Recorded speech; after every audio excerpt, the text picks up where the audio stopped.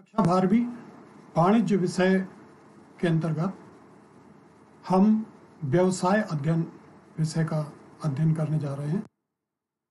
अध्याय एक में प्रबंध की प्रकृति एवं महत्व अध्याय एक है।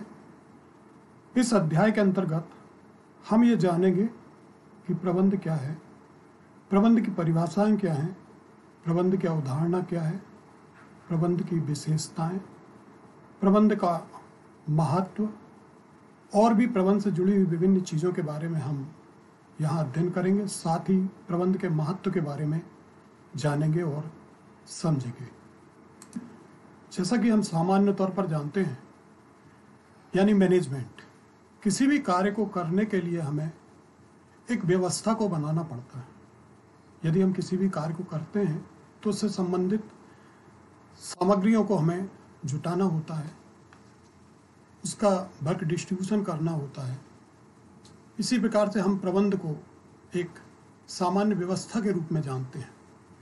लेकिन जहाँ तक हम व्यवसायिक क्रियाओं के अंतर्गत प्रबंध का अध्ययन करते हैं तो हम मुख्य रूप से जानते हैं कि आधुनिक समय में प्रबंध को एक विषय के रूप में मुख्य रूप से महत्व प्राप्त है। प्रबंध की आवश्यकता औद्योगिक क्रांति के समय से महसूस की जाने लगी थी। जब औद्योगिक क्रांति का जन्म हुआ था, उत्पादन मशीनों से होने लगा था। बड़ी मात्रा में उत्पादन होने लगा, इकाइयों की मात्रा बढ़ गई। उस समय जो है बड़ी मात्रा में हमें प्रबंध की आवश्यकता पड़ने लगी थी। पूर्व के समय में यदि हम देखें तो उत्पादन का आकार उस समय अत्यंत छोटा होता था। कुटीर उद्योग के द्वारा ही पूरे परिवार के सदस्यों द्वारा ही उत्पादन किया जाता था। किंतु औद्योगिक क्रांति के पश्चात जब कारखाना प्रणाली का जन्म हुआ, एवं बड़ी मात्रा में उत्पादन किया जाने लगा, जिससे बड़ी मात्रा में उत्पादन के साधन, जैसे श्रमिक, कच्चा माल, मशीन, वित्त, बाज़ार आदि के बीच में प्रभावपूर्ण सहयोग और समन्वय की आवश्यकता महसूस की जाने लगी। जिसके फलस्वरूप हमने ये जाना कि प्रबंध जो है मुख्य रूप से व्यवसायिक क्रियाओं में सम्मिलित हुआ और जिसके फलस्वरूप देश के तीव्र आर्थिक विकास के पीछे प्रबंध की अपनी मुख्य भूमिका रही है। आज भारत जैसे विकासशील देश में तेज़ी से जो आर्थिक विकास हो रहा है, उसमें भी प्रबंध की अपनी एक महत्वपूर्ण भूमिका है। आइए अगले अध्याय में हम चलते हैं। प्रबंध की प्रबंध की अवधारणाएँ क्या हैं? इसके बारे में हम जानेंगे। आमतौर पर प्रबंध की विभिन्न अवधारणाएँ रही हैं, साथ ही इसमें समय समय पर परिवर्तन भी हुए हैं। वैसे तो प्रबंध का विषय इतना व्यापक है कि उसको एक निश्चित सीमा में बाँध कर रखना कठिन है। परंतु आधुनिक समय में प्रबंध की कुछ महत्वपूर्ण अवधारणाएँ रही हैं, जिनके बारे में हम जानेंगे। नंबर एक है, प्रबंध का संबंध व्यक्तियों से कार्य कराने से है। जैसा कि इस बिंदु के अंतर्गत हम देख रहे हैं कि प्रबंध का संबंध जो है, कर्मचारियों से कार्य कराने की कला है। उन सभी को संबंधित कार्य के अनुसार निर्देश और आदेश प्रदान करने से है। वास्तव में प्रबंध जो है, उन्हें नेतृत्व भी प्रदान करता है। वहीं दूसरे बिंदु की ओर हम चलते हैं।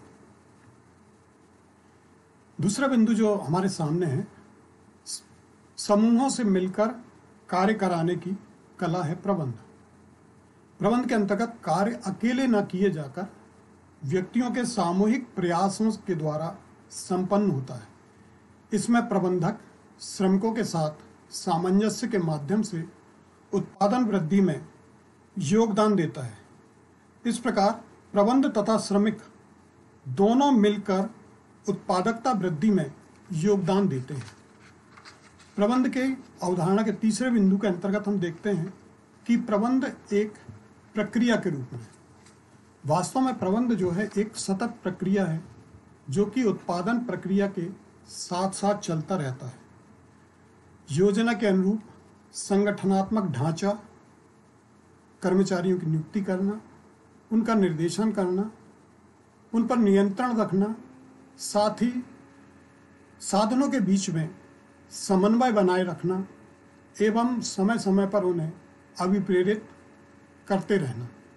ये सभी कार्य ऐसे हैं जो कि निरंतर एक उपक्रम में चलते रहते हैं। इसलिए कहा गया है कि प्रबंध जो है एक सतत प्रक्रिया है। अगले बिंदु की ओर चलते हम। प्रबंध जो है एक नवीन विचारों वाली शक्ति है। उत्पादन को बाज़ार के अनुकूल बनाना एवं बाज़ार को उत्पादन के अनुकूल बनाना, ये प्रबंध का मुख्य कार्य है। इसके अंतर्गत जो है नए नए बाजारों की खोज करना, मांग कम होने पर उत्पादन को समायोजित नहीं करना, बल्कि बाज़ार में नए अवसरों की खोज करना और लगातार उत्पादन में वृद्धि करना। इसके लिए यदि प्रबंध की व्यवस्था के अंतर्गत चाहें तो उत्पादनों के साधनों में हम बचत करके मांग में वृद्धि कर सकते हैं, लागत में कमी कर सकते हैं। इस प्रकार से यहाँ पर हम ये जानते हैं कि प्रबंध जो है एक नवीन विचारों वाली शक्ति है। अगले बिंदु में प्रबंध व्यवसाय का गत्यात्मक एवं जीवनदायी तत्व है। प्रबंध जो है व्यवसाय का गत्यात्मक तत्व है। अर्थात प्रबंध की जो भी व्यवस्थाएँ हैं, वो पीछे की ओर देखकर चलते हैं और ये व्यवस्थाएँ आगे के लिए हमारी जीवनदायी होती हैं। इसमें नेतृत्व के अभाव में उत्पादन के साधन केवल साधन बनकर रह जाते हैं। चूँकि प्रबंध भी उत्पादन का एक साधन है, किंतु यह महत्वपूर्ण है। प्रबंध संसाधनों के कुशलतम उपयोग से संबंधित है, जो कि व्यवसाय के लिए जीवनदायी है। भाषाओं के अंतर्गत हम प्रबंध के बारे में यहाँ पर जानेंगे।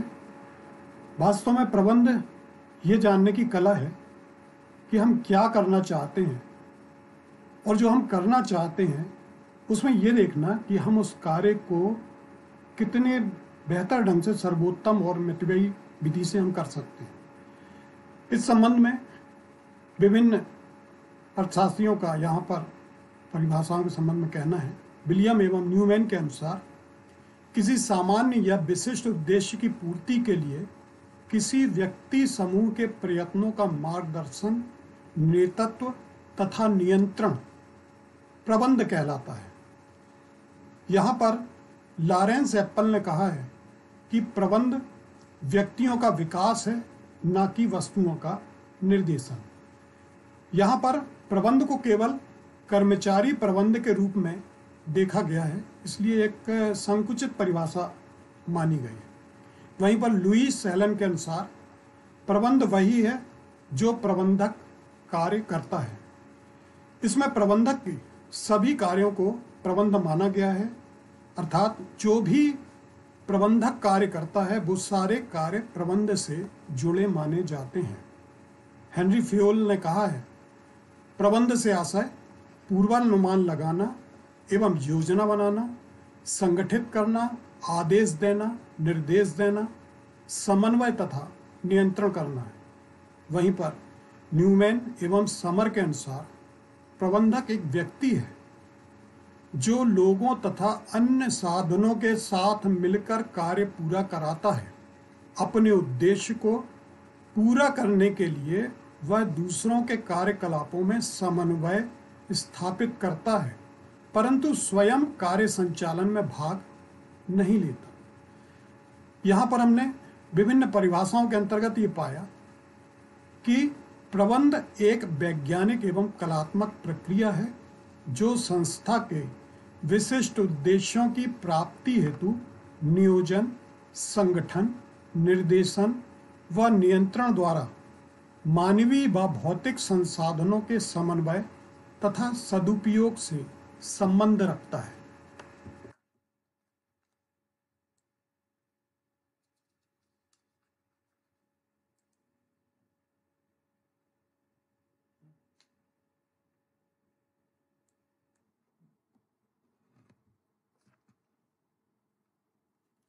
विभिन्न विद्वानों द्वारा दी गई प्रबंध की परिभाषाओं का विश्लेषण करने के उपरांत इसकी हम प्रमुख विशेषताएँ या लक्षणों की ओर आगे बढ़ते हैं।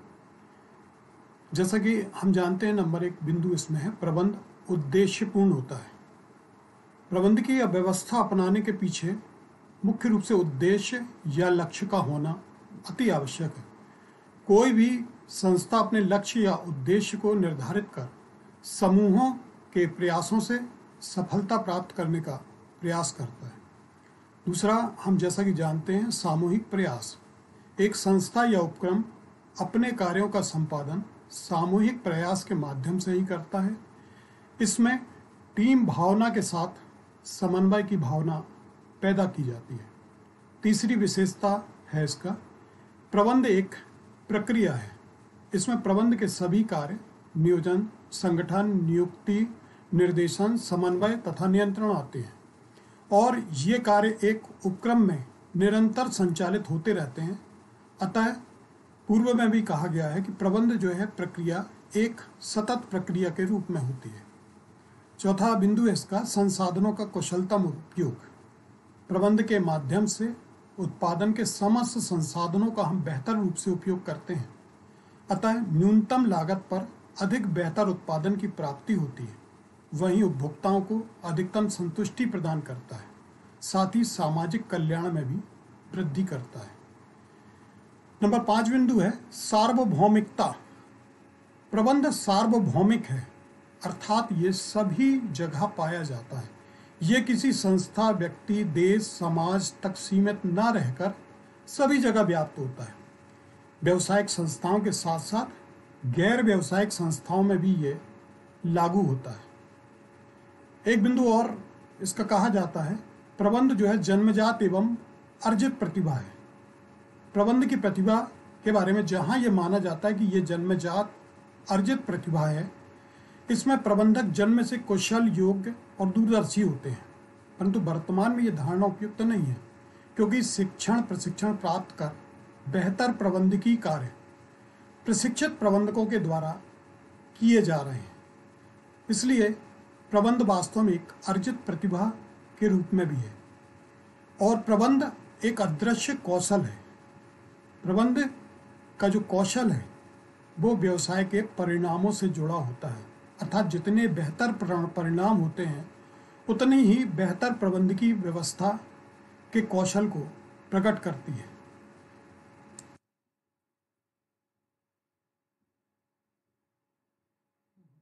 प्रबंध संगठन और प्रशासन में अंतर। आइए इन तीनों में हम अंतर देखते हैं। प्रबंध संगठन और प्रशासन शब्दों का प्रयोग समानार्थक रूप से किया जाता है, परंतु आधुनिक समय में इन शब्दों में अंतर किया जाता है। इन तीनों में क्या अंतर है, इसका अध्ययन करने से पूर्व हम प्रबंध का संगठन तथा प्रशासन से क्या संबंध है, ये हम संक्षिप्त में देखेंगे।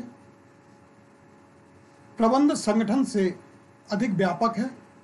प्रबंध के प्रमुख कार्यों में एक संगठन भी सम्मिलित है।